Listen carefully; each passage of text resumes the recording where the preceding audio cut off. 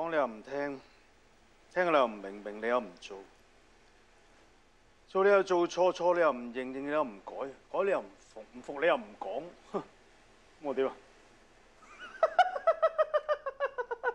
这是一部具有文艺范儿的黑帮片，刘德华、张学友、余文乐和陈冠希四大男神聚在一起。告诉你什么才是江湖，什么才是兄弟。李雪健老师曾说过，江湖不是打打杀杀，是人情世故。兄弟也不全都是用来出卖的，也有想取而代之的。看到这部影片的人员配置，让我禁不住联想起了《旺角卡门》《无间道》和《至尊无上之勇霸天下》。黑帮基层员工铁臂和义仔是非常要好的朋友，两人形影不离，可以说是过命的交情。这天晚上，帮派里抽生死签，拿到生死签的人只有两种命运：成功了就是天堂，以后在帮派里便可以飞黄腾达了。失败了就意味着直接进入地狱，永世不得翻身。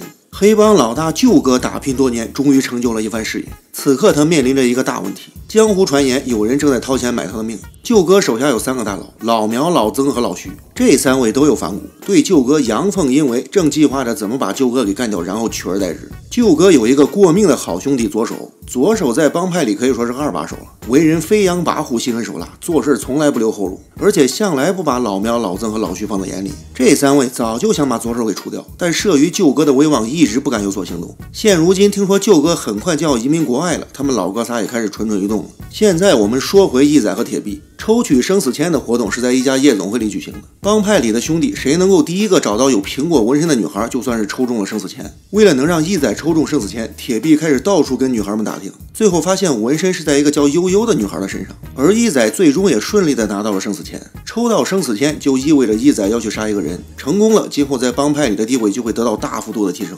失败了，命也就没了。而他那个天杀的老大只给了义仔一把西瓜刀。舅哥的老婆为舅哥生了一个大胖小子，老婆孩子热炕头。左手希望舅哥为了孩子能够及时隐退，带着老婆孩子到国外过普通人的生活。不过舅哥并不想把自己辛辛苦苦打下来的江山拱手让人，而且他知道自己一走，老苗、老曾和老徐肯定得闹事儿。他打算把老婆孩子送到国外，没了后顾之忧，他才能放手去干。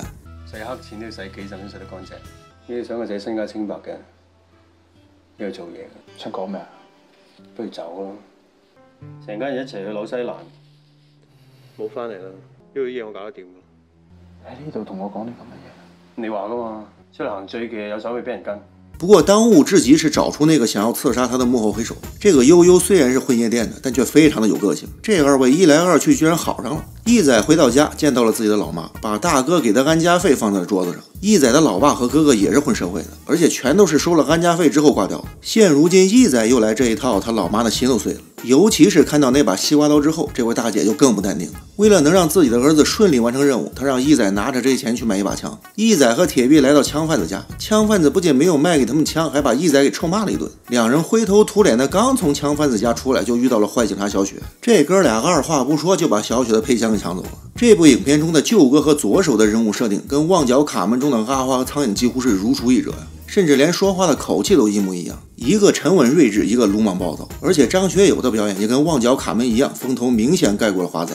老苗、老曾和老徐这三个老滑头的所作所为，舅哥和左手早就一清二楚了。而且这三位里边最不老实的就是老苗，那个派杀手刺杀舅哥的幕后黑手也极有可能是他。因此，左手一不做二不休，派手下的得力干将小林直接就把老苗给灭门了。这就叫先下手为强，后下手遭殃了。收拾完老苗，小林按照左手的指示，又把老苗的手下给干倒。如果按照左手的风格，老曾。和老徐这两个老油条也肯定不会有好下场。但舅哥的做事风格跟左手完全不同，他的目的是杀鸡儆猴。也正因为他不够狠，因此才埋下了祸根。当老曾听说老苗已经被左手干掉之后，可把老曾吓得不轻。当他正准备逃跑的时候，被早已埋伏在门口的独眼龙逮个正着。这独眼龙是舅哥最贴心的属下，舅哥担心左手会把老曾给干掉，因此提前派人把老曾给接走了。老徐正在娱乐场所休闲的时候，也被独眼龙给接上了车。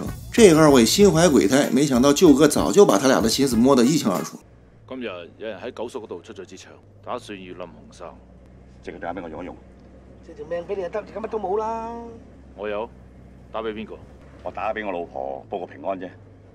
哦，唔使啦，我一早就已经揾人接咗阿嫂出嚟饮茶。无论在现实中还是在影视剧中，爱情这玩意儿有时候真的能让人失去理智。就比如这个义仔爱上了悠悠之后，为了替悠悠还债，居然开始疯狂的抢劫。对悠悠这种风尘女子来说，听过了太多的花言巧语了，但像义仔这种实干家还是头一回遇到，因此感动的是不要不要。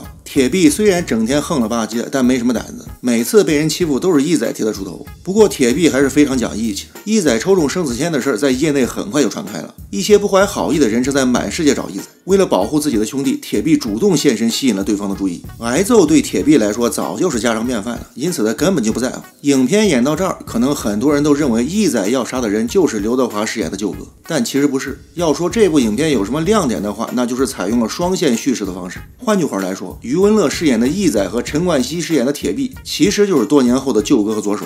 这也就解释了舅哥和左手为什么那么的兄弟情深。不过人都是会变的，俗话说没有永远的兄弟，只有永远的利益。当年那个胆小怕事的铁臂，已经变成了野心勃勃的左手这场吃饭的戏，表面上是兄弟俩在闲聊，其实是舅哥在教左手怎么做人。那个派小混混准备刺杀舅哥的幕后黑手，不是别人，正是左手。原因就是左手想当老大。舅哥念及兄弟一场，并没有把这件事说破，而是旁。旁敲侧击，让左手明白了舅哥的良苦用心。如果呢个世界有个人可以怼到我嘅，